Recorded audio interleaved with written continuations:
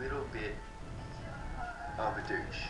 I didn't do well in school. I completed my final year of school and did terribly. I would fight with my parents all the time. I would fight with my friends all the time. And really, I just wasn't a happy person. No kidding. And then I met the most beautiful girl I've ever met, Emma. Aw. She's the most incredible thing that has ever happened to me. Basically, Emma and I have been dating since we met, and from the first day we knew that it was different and it was special. But we've reached a bit of a point in our relationship where we really need people's help. On the 29th of April this year, Emma will be travelling to London, and at the moment it looks like she'll be going by herself. Oh, that's not What I need you guys to do is to vote for me so I can go with her. You know that scene in every Uh, that is just so sad. It's so cute and so sad all at the same time. Um, I met Ged a couple of weeks ago when we did a YouTube collab, and I watched that video that I just showed you a little bit of, and it really struck me. This guy has gone from being, I don't know, a troubled teenager finding someone that made him feel special that he feels special about and now all of a sudden she's leaving and going to England for I think it's either six months or nine months for some reason.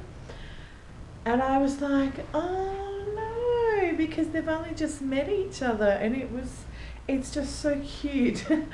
And um, but what really got me after hearing all that and hearing how they're together and they need help and he needs to become king of the web. So if you can go to the links below, there is a link about how to go to king of the web and vote for him.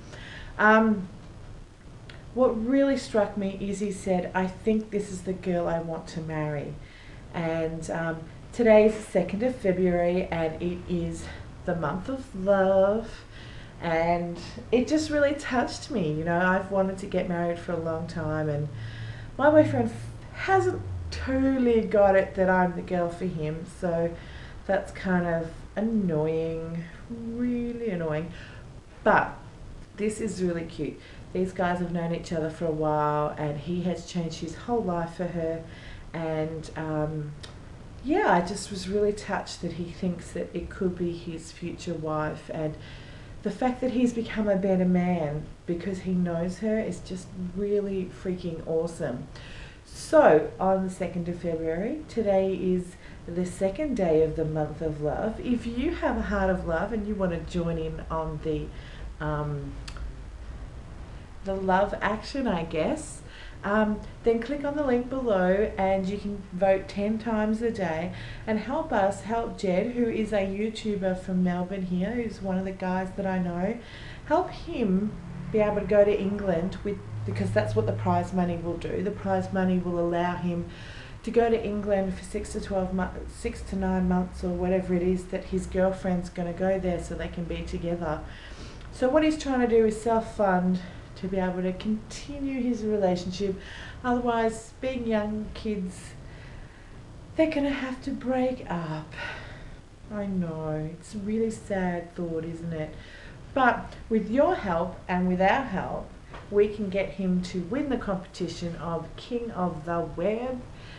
And I just, I don't know, it's sort of like he's doing all the things that he can do to make it so he can go with her. And I and it, he's got about three months till she leaves. So in three months, he's doing this competition and he's working his ass off and just doing whatever he can to get the money together so that he can actually go with her to England. And it's just really sweet. So why don't you get behind him and do it as well? so beautiful. So beautiful. Yeah. So here is to young love, young lovers that are looking for more than just sex and a relationship.